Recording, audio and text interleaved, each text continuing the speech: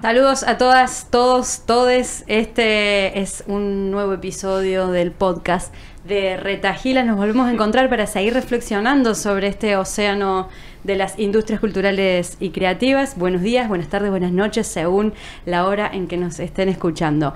Hoy vamos a hablar sobre entornos creativos, sobre hábitat cultural, sobre ciudades. Eh, sobre el espacio donde esto, que son las industrias culturales, que es la creatividad, que somos las personas que lo, experimentamos y lo hacemos realidad, transitamos, habitamos, vivimos. Y para eso tenemos el honor de tener aquí eh, a varios invitados todos hombres esta vez, así que vamos a, tratar de defender la visión femenina de este lado. Eh, pero ha estado bastante equilibrado de género en general todos los episodios. Alex Martínez Suárez, eh, José Enrico del Monte, Jordi Masalles, Mario Ábalos, aquí hay arquitectos, pero también aquí hay una identidad artística muy potente, fotografía, música, poesía. Eh, museografía, edición también, bueno, hay un poco de todo, así que hay una riqueza acá. Eh, como les decía, la idea de hoy es poder conversar sobre entornos creativos. Así que buenas, buenas tardes, buenos días, buenas noches a todos. Hola, hola, hola. un placer, de verdad que sí. Chulísimo. Bueno, muchas gracias por aceptar la invitación, de verdad. Yo tengo acá como una cantidad de conceptos y nociones que quisiera entender mejor y que creo que podemos ir explorando. Si yo les empiezo a comentar un poco sobre qué es esta idea de ciudad creativa, de entorno creativo, de espacio cultural creativo, eh, ¿qué, es lo que les está resonando a ustedes, arquitectos y artistas, y publicistas y mercadólogos y fotógrafos y músicos, y todo lo que habita acá? Yo creo que, que es una validación de lo que siempre ha existido. Yo creo que el ser humano ha estado acompañado siempre de espacios donde se desarrollan sus inquietudes artísticas y, manifestaciones culturales, pero de alguna manera comenzamos a darle apellido para ubicarlo dentro de un entorno de, producción, el mundo de la producción y postproducción. Y eso viene, a mi juicio, a raíz de la, de la revolución industrial, donde todo el, mundo comenzó a dividirse entre lo que era válido, eh, lo que producía riqueza, y lo que era sencillamente pérdida. Y entonces las artes fueron siempre señaladas como ese, ese elemento de, hasta cierto punto, de pérdida del enfoque de la producción, pérdida de tiempo, y en un, sector que estaba, mm, eh, participaban eh, gente que no tenía la capacidad de entrar en el engranaje de la producción mundial. Entonces los artistas siempre fueron como un gueto, y hoy en día nos hemos dado cuenta que esa visión eh, sucumbió, porque al final una sola visión del desarrollo humano es imposible si no tiene la, la condición valga la redundancia, humana para impulsar todo lo que significa los otros elementos de la producción. O sea, hay que ser creativos internamente, manifestar esa creatividad con la concatenación de muchas personas que al final se juntan y crean una mejor, un mejor desarrollo de la, producción en todos los sentidos. Entonces estamos en ese momento de la revalorización de lo que ha sido siempre el, hecho artístico y cultural del ser humano. a mí me parece que con eso también en Santo Domingo particularmente, cuando hablamos de ciudad creativa, lo que hay como una búsqueda de identidad de ciudad. Santo Domingo es una ciudad que en los últimos 20 años ha crecido de una manera eh, vertiginosa. O sea, yo recuerdo, eh, yo crecí aquí, muy cerca de donde estamos hoy, y esto eran campos, fincas. Mi casa era una de cinco casas que había solamente. Bueno, Santo Domingo el que ha crecido mucho. Y en esa búsqueda, como decía Martín, siempre me dijo una frase que no se me olvida, Martín Córdoba, que es una ciudad adolescente. Y es adolescente porque tiene como un cuerpo de adulto, pero todavía tiene una mentalidad de niño, una mentalidad infantil. Y yo creo que esa parte de ciudad creativa o no ciudad creativa viene mucho con esa búsqueda como de cuál es la identidad de la ciudad, de una ciudad que viene de ser la primera ciudad de América, pero también una ciudad que ha sido urbanizada como con un conflicto entre lo público y lo privado, eh, eh, en todos sus aspectos, en una ciudad que, que, tenemos la primera generación urbana de toda la historia de la República Dominicana, que es la generación Z, o sea, una generación que nace ya en, en una realidad urbana, de una urbanización de casi un 80%, más de un 80%. Y hay una búsqueda de esa, de esa identidad, y en parte de esa búsqueda de identidad sale esta idea como de, de ciudad creativa, pero yo lo, yo lo veo más como una afirmación, casi como una pregunta como, cuál es, qué significa realmente esto, a dónde vamos. Yo lo miro por ahí con una cuestionante que no acaba todavía de cerrar ni para un lado ni para el otro. Sí, porque hay una paradoja en lo que el Mario está señalando. Y es cierto, nosotros fuimos los primeros, pero duramos muchísimo tiempo para la explosión, la explosión urbana, como él dice, entonces es una ciudad que está en transición. Ahora mismo estamos viviendo la transición de lo que será Santo Domingo. Pero en, el, en esa transición nosotros nos damos cuenta que hay una serie de, de carencias y de fallas y de, y de, elementos negativos con los cuales nosotros tenemos que luchar para cambiarlo. Y desde, el punto de vista de la creatividad, yo creo que hay un, un, esfuerzo que se tiene que hacer para que lo que va a suceder a futuro sea algo que, que sea muy distinto a lo que vamos percibiendo. A mí me parece que es estimulante hablar sobre, sobre Santo Domingo como ciudad creativa o territorios creativos. Eh, definitivamente en medio de nuestra dura realidad. Yo creo que esta es una ciudad que está colapsada eh, y, la verdad que yo me siento con muy, po muy, muy, pocas esperanzas de qué, qué, es lo que va a pasar aquí y qué es lo que mis hijos van a, dónde van a vivir mis hijos. La verdad que es una realidad. Y, y, ni hablar de transporte público de inexistente, que funcione eh, eh, de cara a, al desarrollo, al mismo tiempo del, desarrollo de la ciudad. Eh, pero eh, el tema de irnos por el lado creativo, por el, la industria donde nosotros eh, trabajamos, es, es, muy interesante y explorar y, verlo desde, el punto, ese punto de vista cómo la ciudad también puede ofrecer y, y eh, servir de canvas para muchísimas manifestaciones que, que nosotros estamos constantemente eh, eh, eh, trabajando encima de ellas. Ya van saliendo un montón de temas, yo estoy como apuntando cosas, porque está esta cuestión histórica, incluso de poder vincularlo a, de cómo se conformaron las ciudades ¿no? mundialmente, la revolución industrial y cómo eh, ciertas cosas quedaron relegadas y lo, la producción fue como lo primordial para generar eso, pero al mismo tiempo sabemos que esta es una ciudad adolescente, como, como dice Mario, que ha, su, ha vivido, transitado, iba a decir ha sufrido, eh, ha transitado eh, muy aceleradamente en, en, el último periodo histórico esta, esta cuestión como de concentración urbana y está un poco descubriéndose y al mismo tiempo hay muchas falencias y, y cosas que quizás no han sido del todo pensadas, un poco porque falta diálogo entre lo público y lo privado, y pareciera que estuvieran en disputa. O sea, voy, voy conectando un montón de cosas que de alguna forma me hacen entender eh, la ciudad en la que estoy viviendo hace ya muchos años eh, y que me generan muchas dudas también, porque de todas formas sigo sintiendo, a pesar del caos, esto lo digo ya como una extranjera inmigrante, a pesar de todo este caos y de este crecimiento tan acelerado, de todas formas la ciudad eh, me sigue absorbiendo y, y, de alguna forma como hipnotizando. ¿A ti te gusta Santo Hipno Domingo? Sí. ¿Te gusta la ciudad? Me, hipno me hipnotiza, hay algo uh -huh. creativo ahí, hay una pulsión que me hipnotiza. Esa, esa creatividad quiero entenderla. Que, que, es un reflejo del caos, realmente. Nosotros hace unos años traímos unos invitados de Barcelona, una persona de la industria creativa, tipos con mucha reconocimiento en Barcelona. Y coño, Barcelona es una ciudad muy, muy tú dices el ejemplo, urbanismo. Lo trajimos aquí de invitado y yo con mucha vergüenza de mi ciudad. y el tipo me, me acuerdo, eran Albert Folk y Rafa Martínez, y me decían, mira, estamos alucinando, claro. flipando, me decían con la ciudad. Y yo, pero, y yo no, no entendía realmente por qué. Y lo que ellos me decían, aquí el caos, el desorden, que es evidente y obviamente pero es parte del encanto. Me decían, mira cómo ese tipo está en esa calle ahí jugando dominó en la acera. Me dicen, en Barcelona no se puede, te, tiene un policía y te quita. Mira cómo ese carrito de, ese chimi está puesto en una esquina. O sea, el tipo no tiene un permiso para tener un carrito en el chimi. Hoy el tráfico se paró en la calle porque un triciclo de un aguacate se volteó en medio de la calle y el tipo... O sea, hay un caos que para los que vivimos aquí es eh, exasperante, pero de una mirada fresca, quizá una mirada también lo ve con cierto encanto quizá con el mismo encanto que nosotros podemos ver un sitio extranjero. Entonces, lo que yo me quedé con eso es de mirar la ciudad con ojos extranjeros, me quedé como con esa idea. Y ahí me han surgido muchísimas otras formas de, mirarlo. Sin embargo, a nivel personal, yo creo que aquí los problemas de Santo Domingo, y por eso cuando hablamos de creatividad o de ciudad creativa, yo siento que viene siendo como una, una muletilla, una excusa viene siendo un poco lo que juega la alegría en la cultura, que como, bueno, sí, pero somos alegres, que no tiene una utilidad, pero sirve para justificar todo lo otro, pero, pero viene siendo un poco el conflicto del público contra lo privado, que va muy paralelo al conflicto de clases también, eh, y viene se ve mucho en el desarrollo eh, eh, del urbanismo, quién desarrolla, quién desarrolla, el Estado o, o, el empresario privado, y cada quien que mira y que no mira, y otra es la ciudad que te te somete a ser agredor, agresor o agredido. Salir a la ciudad, tú no tienes otra opción que no sea una de esas dos. O eres agredido o eres un agresor. O sea, mm. en el tránsito, en el tráfico.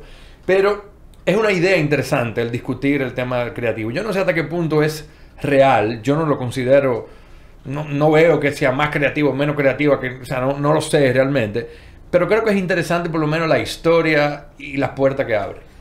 Yo, yo creo que la, la ciudad de Santo Domingo, bueno, no creo, la, la ciudad de Santo Domingo se ha sumado a la tipología de, la, de las ciudades latinoamericanas. Eh, la capital es el centro del país y la mitad o la, la tercera parte de toda la población vive en, en Santo Domingo. Eh, yo hice una vez un ejercicio que lo compartí con, con José Enrique de evaluar los tamaños de las ciudades, de ciudades importantes en, todo el mundo, en Europa, en, América y en Sudamérica. Por ejemplo, en, en España solamente hay una ciudad que tiene más habitantes que, nosotros, que es Madrid. En París no tiene más habitantes que nosotros. En Alemania solo Berlín tiene más habitantes que nosotros. En Estados Unidos solamente Nueva York y Los Ángeles, la primera con 7 millones de habitantes y la segunda con casi lo mismo que nosotros. O sea, eh, y nosotros somos un país muy pequeño. O sea, la centralización es uno de los, de los daños graves que le ha hecho eh, a, la, a la ciudad de Santo Domingo. Cuando te vas, sin embargo, a, a Sudamérica, pasa lo mismo. O sea, las ciudades como Sao Paulo, Buenos Aires, eh, Bogotá, Caracas, son ciudades gigantescas con México, o sea, no, no se diga, una cantidad increíble. Entonces yo creo que eso, me gusta mucho el punto de vista tuyo, ese punto de vista fresco del extranjero que también mencionaba Mario, porque realmente nosotros como estamos dentro de la selva lo vemos de una manera, el que viene de afuera lo ve de otra y entonces eh, a veces me, me gusta ser más pesimista que la juventud, ¿no? Que, que veo que Alex es como un poco pesimista. Sí, con- bueno, José Enrique de vez en cuando me da, me, me, me, me da terapia y me dice, mira, tú tienes que verlo desde otro punto de vista. Pero la verdad es que es difícil. Y Ahora- entonces nosotros todavía mantenemos esa, esa, esa esperanza. Y yo creo que la creatividad, la creatividad eh, es, es parte de, de nosotros, o sea, e- e- es, una cosa intrínseca, no solamente la creatividad musical, la creatividad. El, el dominicano es creativo per se. Ahora, esa creatividad, desde mi punto de vista, no se ha dirigido adecuadamente y en eso tiene mucho que ver las autoridades, el tema de las autoridades. O sea, creo que las autoridades están muy atrasadas, mucho más atrasadas que lo, lo creativo que, que el dominicano es y si pudiéramos sacarle provecho a esa creatividad podríamos eh, eh, echar para adelante muchas cosas, ¿no? Es un problema, ah, bueno, es un problema conversar con arquitectos urbanistas porque la visión de nosotros es del conocimiento y el conocimiento te da, te da, te da mucha angustia y te da mucha tristeza porque al conocer la realidad, entonces tú sabes, pero a mí me gusta el enfoque que, que- que creo que podríamos girar hacia esa, a la conversación de lo creativo. Realmente es una ciudad creativa nuestro entorno. Eh, yo pienso que Santo Domingo no es una ciudad privatizada, es una ciudad que no es pública. O sea, es pública la calle, la movilidad, pero en los lugares de concentración son eminentemente privados. Incluso todo ese talento que señalamos, creativo, está concentrado en, en- lugares específicos. Pero tú no puedes salir a la ciudad y encuentras en mal puesto un buen guitarrista, un buen violinista, un buen concierto de jazz en una esquina, un pintor que está pintando, un teatrista que está haciendo eh, teatro, unos niños que están interpretando cualquier obra, obra, obra artística.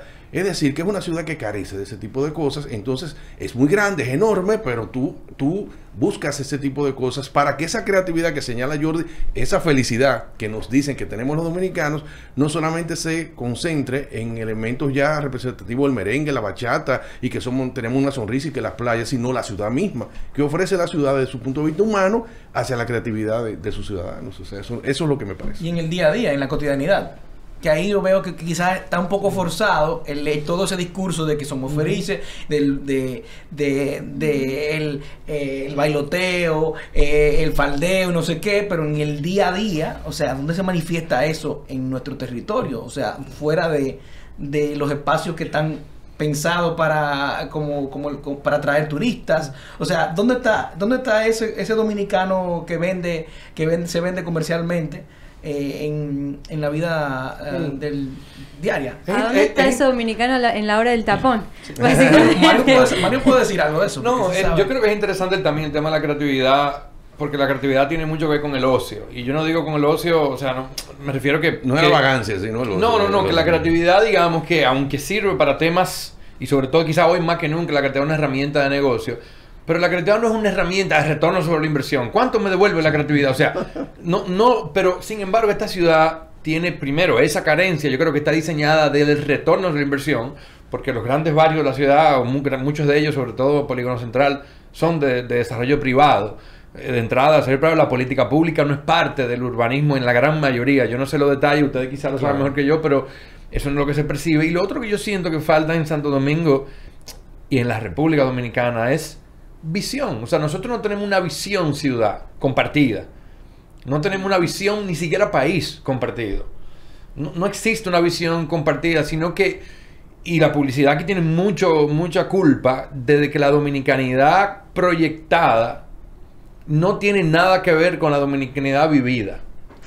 La dominicanidad proyectada es esta dominicanidad de caricatura, estereotipada. De, y, parece que no evoluciona. Y es la misma de los 80. De no, hecho, no, de los 80 no. Ale sabe que yo le mostré videos de la promoción de la Feria de la Paz en 1955 y es lo mismo que los dominicanos tenían sonrisa, eran alegres con Cassandra Damirón bailando. Pero además es una visión súper colonialista porque tú no dices que los alemanes son sonríen y te reciben. ¿Reciben a quién? ¿A quién es que recibimos? Al que viene de fuera que es como el patrón. O sea, digamos, eh, esa, ese patrón fue aquí eh, sustituido por el turista. Es verdad, pero juega el mismo rol de que los recibimos y somos como los los muchachitos que están bailando, eh, recibiendo a la gente. Entonces, yo creo que ahí hace falta visión. Y cuando me refiero a visión es incluso desde el Estado. Y es uno de los grandes iniciativas que yo he intentado fallidamente promocionar al Estado. Es que un Estado debe generar visión. Y eso no es solamente un problema dominicano. Si nos vemos a, mediados del siglo pasado, los Estados generaban visión. Incluso los Estados que eran en contra de valores actuales. O sea, eh, los nazis tenían una visión, una visión equivocada, pero tenían una visión. Churchill tenía una visión, Roosevelt tenía una visión, pero hoy la visión viene del sector privado, globalmente. Aquí no viene de nadie, ni de privado, ni público, ni de nadie. No hay una visión compartida que todos, que, eso quiere decir algo que todos creamos que no lo creemos y tenemos una serie de valores compartidos. Eso no existe. ¿No tendrá eso que ver justamente con esta construcción de identidad eh, que ha quedado como tan eh, anclada en esta idea del dominicano alegre que recibe lo colonialista, eso es lo que se proyecta desde la publicidad, desde lo que nos representa en las pantallas, desde lo que, la, lo, que la ciudad está intentando mostrar, pero no es lo vivido, por lo tanto esa disociación de marca país, como que no construye no construye esa visión compartida. Es verdad que no hay una visión colectiva compartida de lo que es el país de lo que son los dominicanos de lo que es la dominicanidad de cómo es la ciudad o sea, eh, no será como esa, esa misma disociación. Pero, pero, quizás el, tema de la identidad es algo de una respuesta que andamos siempre buscando nosotros, está dando vueltas, pero no nos damos cuenta que tenemos una cultura muy fuerte. O sea, el dominicano tiene mucha identidad. Tan cierto es que no encajamos en ningún otro lado. O sea, el dominicano donde quiera sigue siendo dominicano.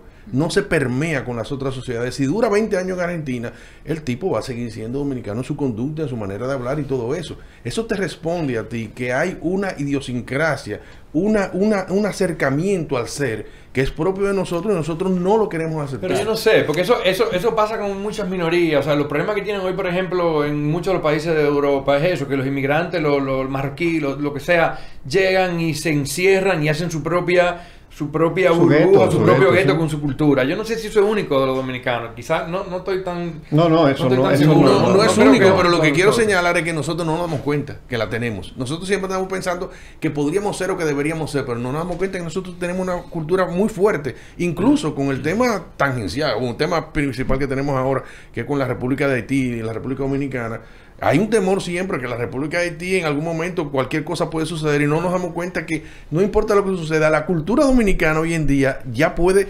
superar cualquier tipo de amenaza que pueda venir del extranjero. Es bastante sólida, nosotros ni siquiera lo percibimos de esa forma. Es así.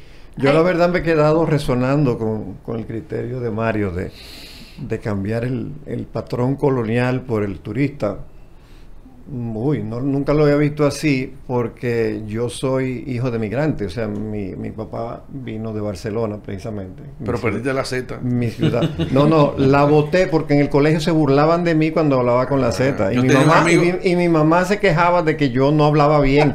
y yo le decía, ¿qué tú quieres? ¿Que se rían de mí el colegio? Y le dije que no. Bueno, y tenía amigos españoles que hablaban con todas sus S y sus C y, se criaron en los colegios aquí. Pero, yo fui... Tú, te convertiste en dominicano. Pero yo fui integracionista exactamente. y por eso eh, me quedo chocando porque realmente mi papá se movía en un medio eh, de intelectuales, o sea, no era, tú sabes, de, de, los- de los bailarines ni nada de eso. Y, y realmente el dominicano es, es un, es un ser muy acogedor, o sea, acoge al extranjero. Lo que no lo había visto desde el punto de vista de cambiar el, el- el gran jefe indio por el, por el, por el turista, pero, pero nada, es interesante. es Digo, no sé, interesante. es una, una lectura que, que le doy. Yo no creo que eso es malo para. eh, digo, es muy bueno para No, el no, turismo. o sea, yo lo digo que, Pero- que no había, no, no, como que nunca lo había pensado pero, así, pero pero, sí, sí creo, y volviendo quizá al tema de la ciudad de Santo Domingo, es.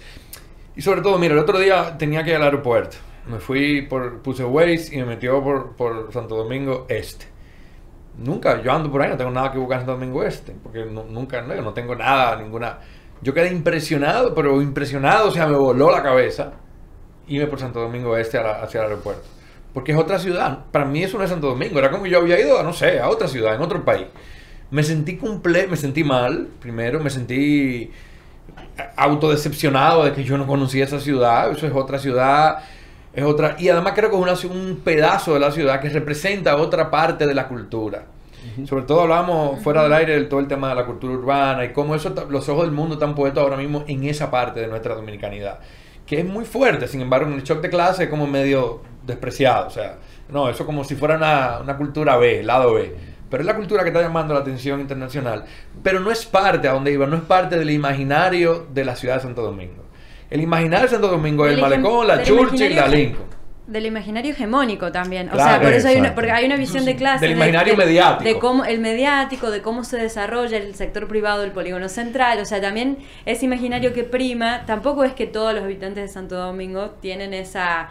eh, acceden a eso, ¿cierto? Pero es el imaginario hecho, mediático circulan. que termina representándonos, porque los medios masivos tienen una gran influencia y desde el principio del siglo XX, de verdad, gente como Adorno venían hablando de eso, de cómo tiene una gran influencia en eh, eh, formar el imaginario colectivo de todos, la identidad completa. Y cómo reproduce la, cult- la- la cultura y cómo la cultura reproduce la- lo- eso. Pero si tú te pones a ver el imaginario colectivo de la ciudad de Santo Domingo, si pensamos aquí todos, dime tres lugares emblemáticos de la ciudad de Santo Domingo. Yo te puedo apostar que no sale nada de Santo Domingo Oeste, ni nada, absolutamente. O el faro, a lo mejor. No, pero es un, pu- eso, es un edificio. Pero es el faro, yo creo que el faro, no sé, si sí. alguien dijera, habría que ver. Pero a donde voy es de nuevo, identidad, Sí, sí. urbanismo, ese imaginario, qué es Santo Domingo, qué no es Santo Domingo.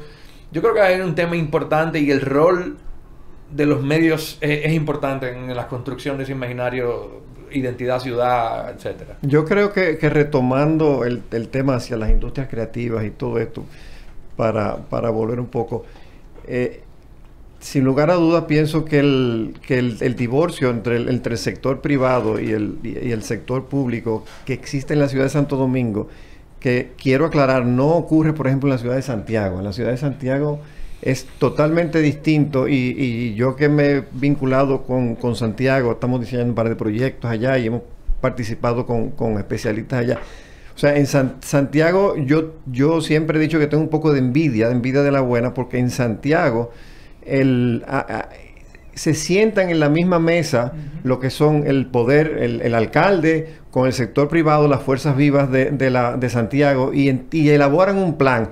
No importa si no es bueno, si no lo, pero, pero, pero Claro. se sientan a Plan definir. compartido. Y eso lo vivimos José Enrique y yo también en un proyecto que hicimos en, en, en Moca, eh, una, una intervención que hicimos con la cooperación española sobre el- la eh, Sal si puedes, que es una- un bolsón que hay en medio de la ciudad de Moca, una cosa impresionante. Eh, pasaba lo mismo, o sea, eh, está la Asociación para el Desarrollo de la Provincia Espaillat, ¿verdad? ADEPE. ADEPE. Eh, en la cual se sentaba el, el el alcalde de turno, el alcalde anterior, el alcalde del tercer partido, más todas las fuerzas vivas, y eso a mí me da esperanza, tú sabes, Eh, eh, porque, porque se sentaban a, a discutir los problemas y lo afrontaban como, como grupo en búsqueda de esa, de esa visión de, de su ciudad que no pasa en Santo Domingo, porque Santo Domingo, aparte de que ya es una metrópoli gigantesca, eh, ya tiene cuatro municipios, Santo Domingo Norte, Este, Oeste, el distrito, eh, o sea que cada vez nos, nos, nos han ido atomizando más, ¿no? Para, para, para crear más lugares que no, es, que no están funcionando adecuadamente. Eh, y, y- eso para mí eso, eso es lo, lo grave de nuestra ciudad de Santo Domingo. Veo, veo dos cosas en lo que estabas comentando y me apasiona mucho. Eh, por un lado, este, mencionaste atomizar y es- esa es una de las, de las palabras. El primer año que estuve acá no me cansaba de decir eso. Están todos atomizados. Que se, se vincula con lo que estabas diciendo, José Enrique, del, eh, que no hay espacios donde uno encontrarse con la cultura, con las artes. Es. Creo que tiene que ver con que no hay espacios prácticamente de encuentro y de convivencia ciudadana. Hay muy pocos. Es muy difícil eh, acceder a ellos, están muy privatizados y por eso ese choque de clases es casi imposible en este momento generar un diálogo, porque cada quien está atomizado en una zona de la ciudad, en una parte, no transitamos y, y- y llegamos a ir al aeropuerto pasando por una ciudad donde nacimos cre- eh, sin, sin conocerla. No, y, O y sea, hay, hay otra cosa adicional en lo que tú mencionabas, que Santiago, por ejemplo, es que Santo Domingo no es de nadie. O sea, nadie hasta recientemente es de Santo. Domingo. Tú puedes vivir en Santo Domingo, pero tú dices, sí, pero mi familia es de Moca, que es mi caso, por ejemplo. Ajá. O mi familia de Barahona. O, de- o sea, al final tú, tú sientes como yo vivo aquí, pero yo no soy de aquí. Y por eso es interesante la reflexión de que hay una primera generación urbana que en teoría Estaría sí es de aquí. Claro. Y esa es la generación que, de nuevo en teoría, empieza a exigir una serie de otras cosas en la ciudad. Espacio público, etcétera. Pero todo el mundo era como yo vivo aquí, pero mi familia es de tal sitio y los fines de semana yo voy a visitar al abuelo que vive aquí y allá. Entonces nadie es eh, eh, de, de aquí, se siente aquí. Por lo menos hasta recientemente y, y ya veremos si en efecto esa teoría de la generación urbana es correcta. Yo, te- yo siento que, que también eh, todo cae en el mismo punto, que es la educación. O sea, al final todos hablamos y los- y todo el mundo cae en el mismo eh, elemento, pero en realidad eh, es un desconocimiento general. O sea, ninguna de las generaciones que tú dices que son urbanas, ni los de ahora, en su formación inicial nunca el tema, el tema ciudad existe. No hay una visión de pertenencia, ni una, ni una, ni una clara un claro contenido de lo que significa vivir en, en tu comunidad, vivir en tu país, tus responsabilidades y apreciar muchas cosas o proponer, hacer, ser creativo con tu propio entorno. Y eso no está, no está ni en ninguno de los planes de, de- de- educativos del país, ni en los, ni en las, ni en los colegios privados De siquiera. hecho, se eliminó Eh, eh. la educación cívica del pensum Claro. Exacto. Entonces, mira, por ejemplo, eh, la juventud, lo- más jóvenes ahora ni siquiera saben lo que nosotros como, como grupo más viejo sabíamos, que tenemos una ciudad colonial, que hay una serie de elementos representativos, que para nosotros es sencillo porque salen todos los catálogos de turismo. Ellos no saben absolutamente nada de su ciudad colonial, no saben pero absolutamente nada. Y tú dirás, bueno, está bien, pero saben de otras cosas, pero es que en, en realidad están totalmente desvinculados. Y si tú tienes, no tienes vinculación y no fomentas, entonces no crea ese sentido de compromiso ni de pertenencia. Yo creo que, por ejemplo, estamos en un momento que, realmente podemos aprender de muchos otros lugares que no es Santo Domingo. O sea, fuera de Santo Domingo hay muchas lecciones. Eh, la semana pasada, por ejemplo, ya que tú traes el tema de Santiago y de la capacidad de sentarse en una mesa planificar el futuro juntos, eso me, impactó la historia que me hicieron. Mira, tú sabes por qué en Santiago hay como una idea de planificación, porque en el 62 eh, un grupo de empresarios se sentaron en una mesa y dijeron, miren, vamos, vamos, a- vamos aquí a organizarnos y a ver qué nosotros queremos para, para, nuestro, para nuestra ciudad. Y ahí me dicen, bueno, de ahí salieron muchas ideas de, y, un, y un, eh, eh, una especie de, colectivo en el cual todavía existe, de planificar, de, de juntos planificar hacia el futuro. Y eso me impactó porque yo digo, wow, nosotros en Santo Domingo que, que hay de todo y este arroz con mango que vivimos hoy, eh, deberíamos de, to- de- de tomar una pausa y quizás pensar, wow, pero qué cosas podemos aprender. En Moca a lo mejor hay, hay lecciones que nosotros podemos, tú dices, bueno, no van a ser en escala, ni, pero hay cosas y acciones y, y colectivos en todo el país. Porque realmente eh, la situación es que está tan totalizante el tema de que Santo Domingo, este podcast tiene, tiene que llamarse así, no Santo Domingo porque hemos hablado prácticamente nada más Santo Domingo. Pero la, Falta, la falta, gran... Pero es la gran sombrilla. Bueno, Pero- piensa, piensa que Santiago tiene un plan de ordenamiento territorial desde hace años. Bueno, eso y es. nosotros lo estrenamos hace dos años. Pero por ejemplo, Sí. una, una, una pregunta que te hago. Una, Tu gobierno está caminando, o sea, que ¿Será Sí, no está caminando. exacto. Una- O sea, hay, hay una cuestión de voluntades, perdón Mario, hay una cuestión de voluntades, pero también hay una cuestión como de esta aceleración en la que Santo Domingo se, se configuró. O sea, históricamente quizás Santiago tuvo la oportunidad, digo, o, sea, o es que realmente aquí en Santo Domingo no hay nadie que lo quiera Pero, hacer. pero hay, hay una pregunta interesante que surge de todo esto y es algo que a mí me da vuelta en la cabeza y tú mencionas Santiago y quizás en tu experiencia y es la relación ciudad-ciudadano, ¿no? O sea, yo creo que, que como que vino primero, la ciudad o el ciudadano. En Santiago tu experiencia, la gente se siente más ciudadano, o sea, la idea de deber ciudadano. Totalmente. Entonces aquí yo creo que, que no existe el deber ciudadano. Yo creo que lo primero, por ejemplo, en el tráfico, en el tráfico tú te das cuenta. Hay una, una nosotros hicimos un trabajo para el, cent- el, el Consejo Nacional de Competitividad y uno de los grandes hallazgos, y no me canso de repetirlo porque para mí fue como un momento como de eureka, como mierda, que encontramos algo que para mí es fuerte, y era que todos los comportamientos de, ¿verdad? del ciudadano venían dados por una de tres drivers, ¿verdad? O, o- o conveniencia, placer o deber. Y que de esos tres, el deber aquí era nulo, no existía el deber, sino que era por placer o conveniencia. Y cuando alguien se arriesga a poner el deber por encima de la conveniencia o el placer, es un pendejo. La conveniencia es como el, número uno. La conveniencia es el gran driver dominicano. Y sobre todo desde el punto de vista ciudadano. Es la conveniencia. No es ni siquiera el placer. El placer como el segundo. Y el deber es completamente ausente. Pero yo me pregunto si, si hay, si hubiera, si hubiese un sentido de deber ciudadano, o sea, una formación ciudadana, un reconocimiento del rol ciudadano, si la ciudad fuera diferente. Y, y la, la hipótesis que sacamos fue, bueno, si yo mañana mágicamente remuevo todos los ciudadanos de Santo Domingo y pongo un, millón de suecos, ¿cuáles problemas desaparecerían? Esos problemas que desaparecerían Para nada. son problemas 100%, cul- 100 culturales. Sí, Sí, o sea, sí, pero, pero, pero tiene que ver también con, vuelvo y, y con los modelos. O sea, toda la sociedad tiene que tener modelos de referencia. Y nosotros hemos ido desmontando nuestros modelos. Y ese modelo de, de- de la persona honesta, la persona que tú, que tú dices que está cumpliendo con su deber y que está respetando los elementos del deber, eso se fue. El, el- Se el- fue. el reflejo del, del éxito do- del dominicano es otro.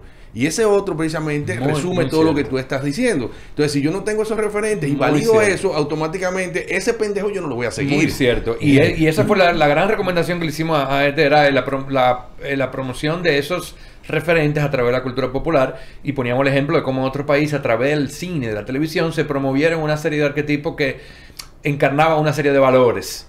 X, whatever, en, su, en su debido contexto. Pero de vuelta como al tema ciudadanía, es el, te- o sea, el tema de que yo tiro esto en la calle porque esto no es mío, eso, eso no me pertenece, eso del Estado, o, o de la- eh, porque yo me meto por aquí porque me conviene ahorrarme estos 10 minutos. Entonces, para mí el tema de la ciudad depende del ciudadano más que a la inversa.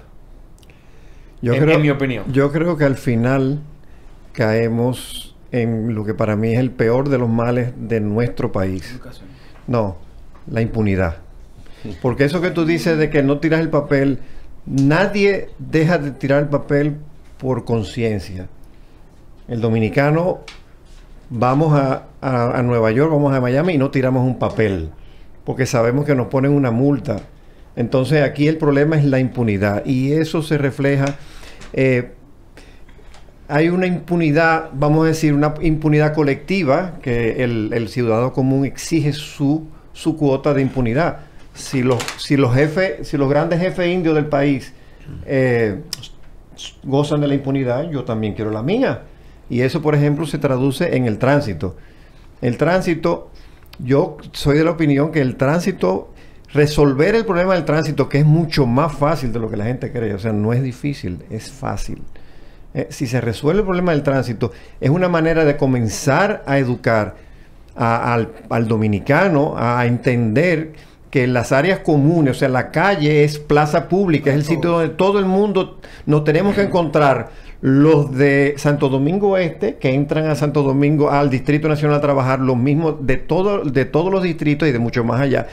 Entonces, si resolvemos el problema del tránsito, resolver el problema del tránsito para mí es una semillita que hace así se va a expandir y va a, a ayudar a entender al dominicano a lo que es hacer turno, ponerse en fila, respetar al otro, tener un poco de respeto. O sea, aquí tú llegas a una esquina y yo digo, yo siempre le, le comento a, a mi esposa, qué bueno fuera que cuando tú llegas a una esquina y vas a doblar, te dejaran pasar uno y uno, Claro. uno y uno, y uno y uno, que es lo que llaman el sistema del, del zipper, ¿no? En, en- en- en Alemania.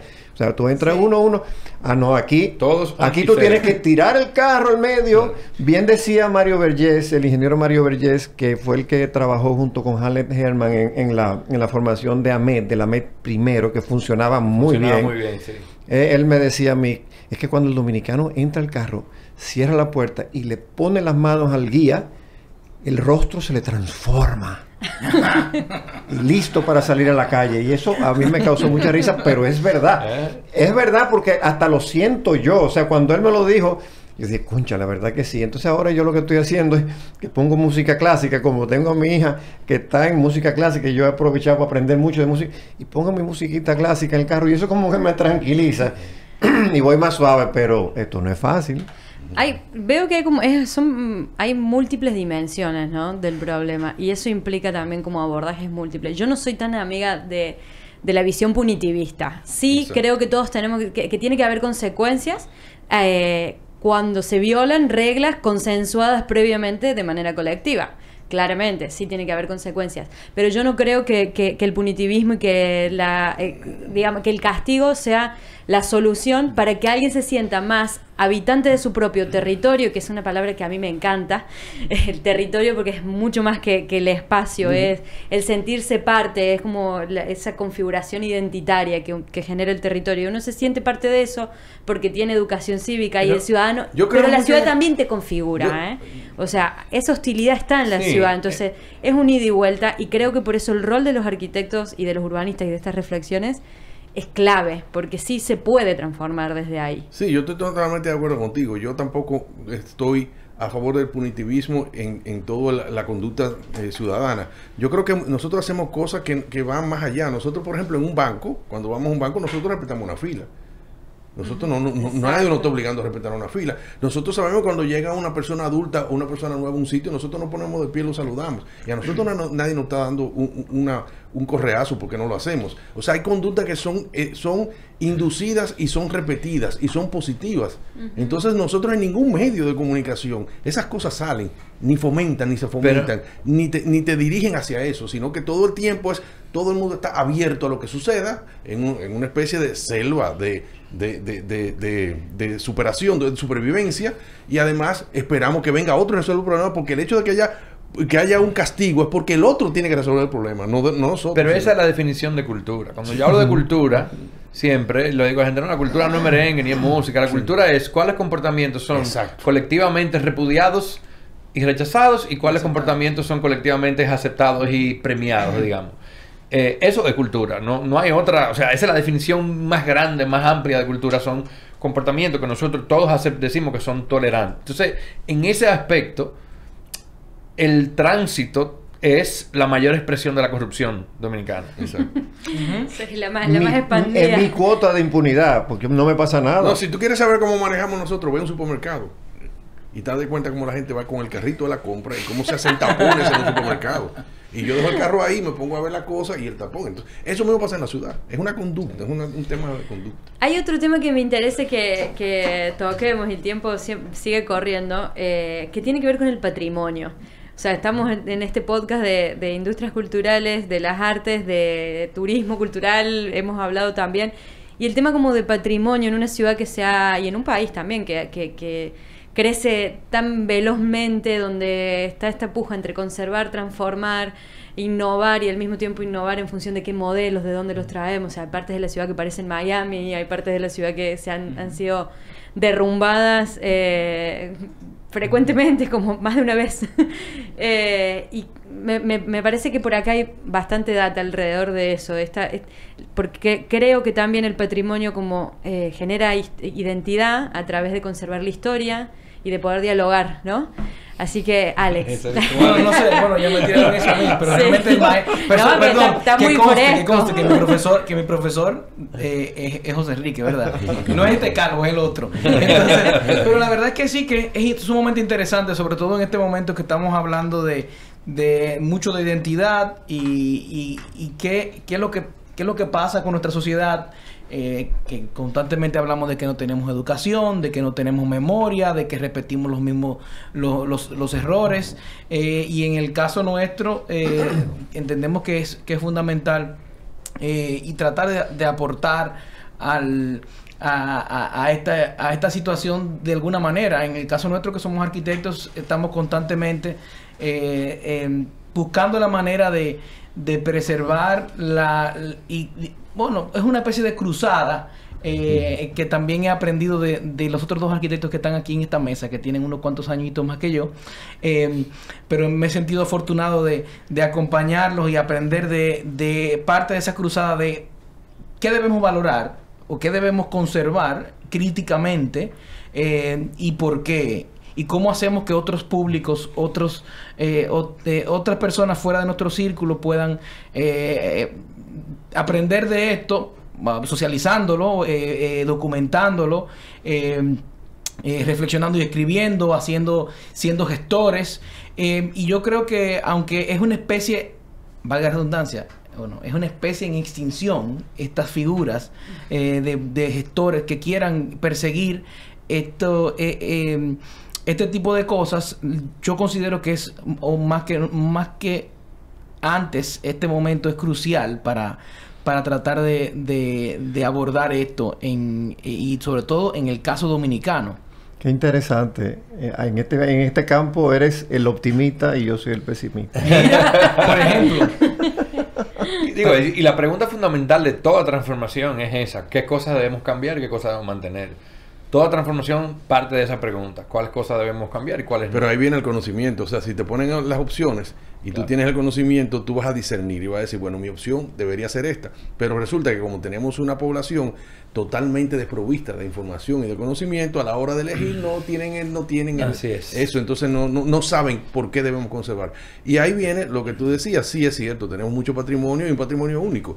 Pero en la visión de patrimonio nuestra ha quedado un poco anquilosada en el tiempo porque estamos todavía visualizando el objeto arquitectónico o histórico, el antiguo, como algo que tiene valor, y si sale de, esa, de ese rango, inmediatamente nosotros entendemos que no tiene valor, cuando el patrimonio es una cosa que se construye día a día el hábitat que, habla, que hablaba Mario de su entorno en esta, en esta zona, es, es una especie de patrimonio que le recuerda a él y tiene soñación y que todavía tiene una serie de valores para él como su propia, incluso identidad, y que él lo ve que se pierde de, alguna, de, de, una forma tan acelerada, pero por, por algo que no hay ninguna planificación ni justificación, porque si, hubiera, si tuviéramos el sentido patrimonial del presente, dijéramos, bueno, este entorno que era de esta manera, con estas densidades, dentro de la macro ciudad que tenemos, quizás nosotros podríamos preservar eso que está ahí, y entonces los objetivos se dirigen hacia allá y el sistema económico del, de, de, se puede vincular a esa provisión y eso no lo tenemos. A mí me parece incluso, en toda esta conversación, incluso dentro de la mira de todos estos podcasts, es el sentido que aquí también, aparte de esa guerra o esa confrontación lo público contra lo privado,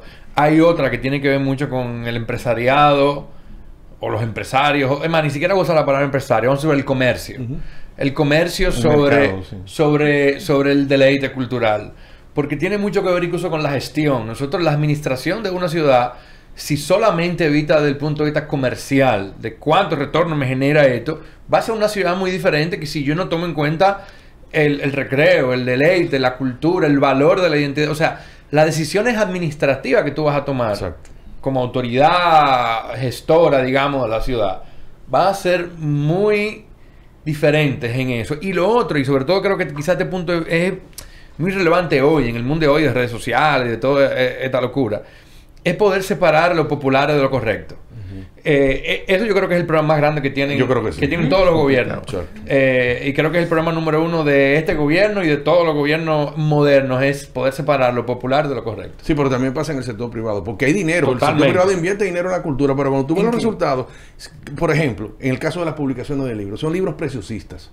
Pero nosotros necesitamos libros científicos de información y conocimiento claro. y para ahí no hay financiación nunca, ni para la investigación ni para la edición de esos libros. Pero es por el fin, porque un libro, y nosotros que hacemos un montón Exacto. de libros, tiene un fin representativo. Eso es. Ahí. No tiene un fin de crear su aporte. Por ejemplo, ah. ahora mismo la industria del cine tiene mucho aporte del sector privado, pero tenemos una ley del libro que tiene las mismas condiciones que la ley de cine, que es exención de impuestos, y el libro no tiene, no tiene ninguna sí. influencia. Ningún, tú vas donde un empresario le dice, tengo una película, son 30 millones de pesos, sí. y tengo un libro que son un millón de pesos, y te financia la ¿Cuánto? película del libro, ¿no? A mí, a mí por eso, y no por hacerle sí. publicidad a nadie, pero por ejemplo, el libro que estamos sacando este, este año, lo de Postal en nuestra memoria, me parece que tiene un aporte interesante de poder mirar.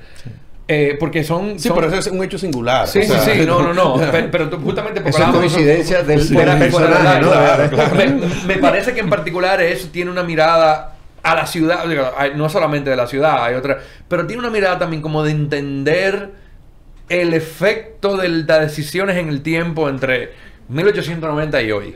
Y es, una, es interesantísimo mirar como, mierda, no sé si se puede decir la, la, cagamos en este podcast, pero es como mierda, la cagamos. Tú puedes decir lo que tú quieras. pero te voy, a, te voy, a, poner un ejemplo sin nombre, por supuesto, porque no vamos a decir. Pero hay un, una, una de las empresas aquí más importantes financió libros sobre la historia de la arquitectura dominicana, de 1992 hasta el presente. Ahí tenemos un libro gordísimo, grandes obras, etcétera. Pero a la hora de ellos decidir a qué arquitecto buscar para su trabajo, buscan un extranjero. Entonces hay una, hay una visión. Tú dices, pero ven acá, si estamos valorando en la cultura de la arquitectura dominicana y, y, los, y los que han hecho esa, esa arquitectura, porque al momento de invertir en un, en, un, en un, edificio emblemático, entonces tenemos que buscar a fulano de tal fuera. Entonces ahí hay una, hay una visión errada. Para porque, porque se fueron a estudiar afuera, a vivir afuera, porque lo de afuera es mejor. Y Sí, y fueron desarrollando y, a, y, a, y, afincando el concepto de Guacanagarix, de, sí. de los espejitos. Y que Volvemos vienen... al turista. El Exacto. orgullo dominicano está solamente existe cuando hay una valoración externa. Exacto. ¿Cuáles cosas nos generan orgullo? Pensémosla. Como, el, el, el ¿Por qué? Porque nos reconocen fuera. Exacto. La playa, porque la valoran lo de fuera. Eh, o sea, todo lo que... Algunos cuando, músicos, porque lo, porque lo valoran fuera. Porque lo valoran fuera. Cuando llega un turista por el aeropuerto, ¿qué es lo primero que le damos?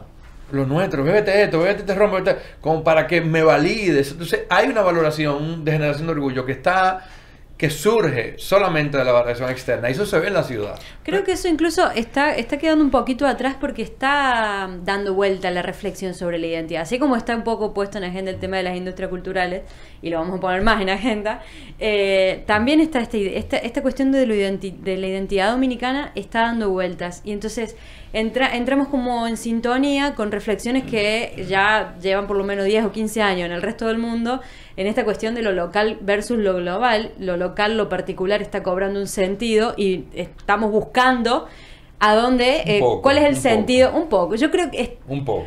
Acá yo soy más optimista. a mí me encantaría ver un ministerio de cultura que empiece a hacerse estas preguntas. Ah, bueno, las instituciones claro. quizás tan, tan, más tarde, pero yo, yo siento que hay, que hay, un sector. Ahí, ahí va yo dando, con, con, el pero, tema de que, de que mientras los gobiernos no le den el valor a la cultura el, valor que tiene. Es una pena que no tengan conciencia de la importancia que tiene la cultura, porque hablamos de identidad. Eh, yo en, la, en, la, en, en, las universidades, cuando he dado clases, siempre abogo mucho por la identidad y siempre pongo a estudiar mucho la, la, lo nuestro, ¿no? Y entonces yo, yo siempre trato de imprimir en mis alumnos el tema de que mientras con todo este tema, desde que empezó toda, la, toda la, la, globalidad y toda esta globalización del mundo, ¿no? Mientras más quieren que me parezca a todo el mundo, más diferente quiero ser. ¿Y cómo soy diferente? Siendo lo que soy yo. Juan Luis Guerra es el mejor merenguero del mundo. ¿Por qué? Porque el merengue es nuestro. Y, y, y si el merengue es nuestro, nadie puede hacer mejor un merengue que, que, que, que un dominicano, ¿no? Que nuestro Juan Luis. Entonces, eh, esa lucha por la identidad es, es, es, una cosa que viene y no parará nunca. Pero yo, todo esto me hace pensar en qué, qué vamos a hacer o qué podemos hacer para sensibilizar a todo el mundo, a todo el que viene creciendo eh, de cara al futuro, cómo hacemos que esta jungla no nos, no nos arrope y qué tiene que hacer, bueno, el gobierno qué tiene que hacer, pero, pero cómo naturalmente entendemos que el tema de la educación es fundamental. O sea, aquí el tema de la educación es eh, eh, y, que va y que, y que dará su fruto en el ámbito del, del, de lo cívico, de, de, de, los ejemplos que hablamos aquí de, del transporte, etcétera. Pero, por ejemplo, en el caso de las industrias creativas, en el caso del patrimonio, en el caso de todas las artes, ¿cómo, cómo pretendemos que en un futuro aquí se, se eh, eh, valore todo esto si en la raíz que sin ni siquiera en lo, en lo básico ahí está pensado sensibilizar o educar. O sea, eh, y, y, bueno, nos, nosotros que fuimos a este tipo de, estudiamos este tipo de, de, de en campos de, de, artes y no sé qué. Eh, por supuesto que ahí vamos a ver que nos enseñan a cómo ser un poco más sensibles o, porque traemos ese chip de, de, de fábrica. Pero entonces hay una cuota, hay una cosa que ustedes ven en los países, en los países eh, desarrollados que se, hay una política. Hay una política para, para, que, para que eso se desarrolle. A Alex, ni la, a la academia no sensibiliza. A mí me parece que la... nosotros tenemos la mayor herramienta ahora mismo para lograr eso, que es muy coyuntural, y es el cine.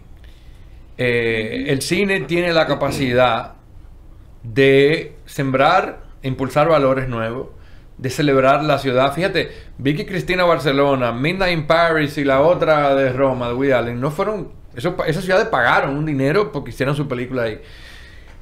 O sea, nosotros, si el cine tiene la capacidad de llevar masivamente una serie de valores, una serie de, de, de, promocionar la ciudad. Imagínate una película que se llame, no sé, Lunes en Santo Domingo y se trata de la ciudad y una cosa que pasa en la ciudad. La gente empieza a ver la ciudad con otros ojos. El poder mediático es mostrar partes de la cultura que no se ven en la vida real hablábamos de arquetipos. Yo siempre le pongo el ejemplo a gente que en los 80, en medio de la Guerra Fría, que los americanos hubieran producido a Rocky, a Rambo y al otro, toda esa gente, no fue coincidencia. Representaban una serie de valores que eran clave para la Guerra Fría. ¿Cuáles son los valores, los Claro. arquetipos dominicanos que viven? eh, es un sanky panky, es un comediante. O sea, tenemos que promover arquetipos dominicanos y, la ciudad y otras cosas que no, se, no sean la playa y el dominicano alegre. Seguimos promoviendo la misma cosa. Y yo creo que el cine, con la ley de cine, con la industria del cine, es el momento. Imagínate que el gobierno, el Estado diga, vamos a promocionar, no sé, ocho películas al año. Y las películas que cumplan con estos requisitos van a recibir un, no sé, un adicionalmente, un incentivo de tal, tal, tal y tal y tal. Y nosotros pudiésemos ocho películas, o cinco, cuatro, o whatever, películas que promuevan una serie de decisiones previas de referentes que tuvo la ahorita eh, eh, y de y de la ciudad y de otras cosas. Yo creo que esa herramienta ayudaría a sensibilizar mucho más que cualquier plan educativo o académico. Yo quería Bueno, acabar más, lo más que... rápido y más masivamente Ujú, también, claro. pero ojo que el tema de la documentación y la generación de conocimiento y la investigación también es necesario, Claro, ¿no? obvio, lo O que sea, hacer van, van de la ma- van de la mano. Sí, y Si claro. tú quieres hacer de una película en ¿Quieren que Santo de Domingo, eso? los años 20, los ¿Qué? años 40, ¿cuáles son- las De acuerdo, razones? de. Exactamente. Yo quería eh, concluir cuando te dije que la academia no Sensibiliza. sensibiliza, porque tú eres sensible, pero no, tú no eres producto de la academia, porque si la academia sensibilizara, nosotros tendríamos todo un ejército de arquitectos trabajando en, en pro Bueno. de lo que es, por ejemplo, la defensa del patrimonio, que ahí quiero enlazar con lo que hablaba José, José Enrique, de que nos hemos quedado en que el patrimonio solamente es lo colonial. Cuando, eh, eh, cuando la ciudad desborda la, la, las- la muralla de la ciudad, se desarrolla Ciudad Nueva, Gascue, y esas zonas eh, eran zonas, son zonas muy valiosas, y ahí es donde yo pierdo la esperanza, porque la estamos, la vamos a perder, o sea, sin, o sea, no hay, yo no veo una salida, la vamos a perder porque el mercado, en este caso la Acoprovi, eh, el sector privado le ha, le ha tumbado el pulso a- al, al, al ayuntamiento, al gobierno municipal, que es el llamado a generar un equilibrio. O sea, no es que no desarrolles, pero no puedes desarrollar como te dé la gana. Tú tienes que desarrollar en base a unos parámetros que te permita preservar lo que es lo que es bueno de, de- de- cada zona. O sea, la eh, Gascue, como ciudad jardín, era un ambiente, yo estudié en Santa Teresita en, en los años 70, finales de los 70, y yo maroteaba por la Caunabo, por toda esa zona, y eso era, un- el- el- era, era, era bellísimo. Y entonces lo estamos perdiendo porque, porque ah, las torres, se hacen unas torres y no respetan para nada lo que había, pudiéndose hacer torres que respetaran lo que había. Lo O que sea, pasa- ¿eh? Lo que pasa es que hay un timing, o sea, la velocidad que lleva las inversiones inmobiliarias en la ciudad es mucho más rápida que la capacidad que tienen nuestros ayuntamientos. O sea, los ayuntamientos están años luz de lo que está pasando Pero- en las proyecciones de lo que debe Yo. Pero creo también que, es- porque no que hay no una les ha interesado. Porque, porque no hay una visión compartida previa, porque incluso cuando cuando ponen el tema del mercado en el medio, yo que, que estoy tra- tratando eh, con la fundación con Retagila en estos podcasts de, de trastocar un poco la narrativa, como si fuéramos, como si estuviéramos enfrentados al mercado. ¿Por qué las grandes ciudades del mundo eh, pueden tener menos cantidades de, de- de habitantes y tener eh, aceras más anchas y tener un mejor tránsito y aún así se desarrollan económicamente mejor y tienen unos hermosos museos y arte y guitarristas dando vueltas y los violinistas? O sea, es que va todo de la mano. sí. Eso Sí, es la construcción de un ambiente creativo, pero no solamente, que sí es necesario eh, para el ocio y el goce y el placer y el derecho a la cultura como si fuera eh, una bonitura y un privilegio que tenemos que tener. Eso crea ciudadanos más conscientes, más innovadores, que trabajan mejor, que generan mejores ideas, que desarrollan más tecnología. O sea, va todo de la mano. Ahí, Es ahí- También el- aporta. el problema es la, la narrativa también del crecimiento dominicano. El crecimiento dominicano económico ha sido, eh, es, digamos, muy importante en los últimos 20 años, líder en la región. Entonces hay como un compromiso con mantener ese crecimiento, crecer, crecer. Entonces habla mucho de la aceleración que tú hablabas. O sea, tenemos que, entonces ese crecimiento, que hay un compromiso como, digamos, eh, implícito con seguir creciendo lo más posible lo que hace que sacrifica en el medio cualquier cosa, porque sacrifica regulaciones, sacrifica visión a largo plazo, sacrifica incluso todo lo que no aporta el crecimiento. Si el crecimiento económico es la prioridad y la cultura no ellos, el- las autoridades no entienden que aporta el crecimiento económico directo a corto plazo, entonces no importa, porque lo que importa es solamente lo que aporta el crecimiento económico. Y por eso Claro. en el tema de la construcción es, tenemos que construir, tenemos que no den facilidades porque tenemos que seguir creciendo para, eh, y tenemos que construir para seguir creciendo. Y esa narrativa termina siendo como esa, eh, como una histeria colectiva hacia el crecimiento que imposibilita cualquier tipo de planificación y cualquier tipo de visión a largo plazo. El, el gran deleite de la pan- pandemia para mí fue el ritmo. Yo empecé a vivir al paso. Claro. Yo viví despacio por 8 o 9 meses, no sé cuánto que duró. Y son de los momentos más felices de mi vida, reconociendo que no todos tuvieron ese privilegio, que a mucha gente le dio Claro. muy duro. Mi caso particular, fueron de los mejores meses de mi vida, vivir despacio. Lo que, lo que mencionaban ahorita de la música clásica en el, en el carro. O sea, yo pienso siempre eso, ese ritmo con el que uno sale a las 8 de la mañana. ¿Qué Claro. productividad a qué empleador le podés brindar si salías a las 8 de la mañana en el medio de un tapón con esa eh, bulla y, es- y la música compitiendo entre sí y la radio, la gente gritando? Y, o sea, no hay forma. Ceci, la clave es Entonces- cuáles, cuáles cosas así. contamos. Nosotros le seguimos contando a la gente que estamos creciendo, que estamos creciendo. Pero ¿y si además le contáramos a la gente que tan felices somos? O si además le contáramos a la gente más sobre el, del nivel de educación. Si, le, si tuviéramos un índice que midiera con tanta precisión como medimos el PIB, midimos el índice cultural, no sé, X o Y. Cultura general. Eso cambiara completamente las decisiones que se tomen. Entonces yo creo que es muy importante eso, las historias que nos contamos, cuáles son. ¿Y dónde nos las contamos? Una de mis fantasías es hacer un, un periódico en el cual solamente se den buenas noticias. Sí, pero... ¿Te, te imaginas eso? Nadie lo, le- lo leería, pero... es Eso me, dicen, idea. eso me dicen Tendrá algunos. que ser un podcast o una cosa así, qué sé yo. Bueno, Ay, claro, perdón. Ay, ay. Perdón, eso viene de... Ay, de este, este tema Upworthy de alguna manera es eso, pero, pero sí, la gente... El tema mediático es crítico y mi, mi gran preocupación en todo lo que tiene con el mundo es el tema mediático. Uf, Eh, eh, esas redes sociales esa, son es, esa es peligrosas. el coliseo moderno. Bueno, vamos a tener que seguir pensando en todos estos podcasts de este tema, seguramente. Eh, les tengo que agradecer, estamos cumpliendo la hora de grabación. Seguiríamos hablando, siempre nos quedamos como cortos, porque eh, la verdad que es una delicia poder reflexionar sobre esto. Esperamos que llegue a más gente y que la conversación se amplifique. Muchísimas gracias por su tiempo. No sé si alguien quiere agregar algo más y si no, vamos. No, muchísimas gracias a ti decirte que esto faci- tú facilitas mucho el diálogo porque estamos frente a una persona que tiene una visión de, en el contenido de lo que estamos hablando muy clara y viniendo de fuera para nosotros es sumamente sorprendente el conocimiento que tú tienes sobre nuestro entorno, nuestra ciudad, que nos permite a nosotros reevaluarnos a nosotros a nosotros mismos. Es así. Muchas Te dieron gracias por esas palabras. Te, te dieron la ciudadanía ya. eh, vamos, vamos a ayudarte.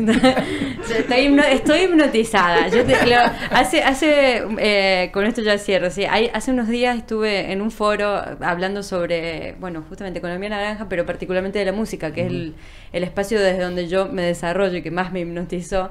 Eh, señores, yo me fui muchas veces de aquí. O sea, yo me fui enojada con el caos, con el tapón y con las dificultades. Y vuelvo, Y vuelvo. O sea, yo ya... Algo ya- tiene este país, ¿verdad? que o sí? sea, la u- en la pandemia me fui 11 meses y no pude dejar de trabajar aquí. O sea, me fui casi un año. O sea, levanté todo y me fui. Y aquí, heme aquí. de Bueno, nuevo, seguimos. bienvenido. Gracias por la invitación. gracias. Esto sirve definitivamente para mejorar algo. Todo Bueno. cambio empieza con una conversación. Así es. Buenísimo, bueno, muchas gracias. Gracias. Se quedan acá en el podcast de Reta Gira.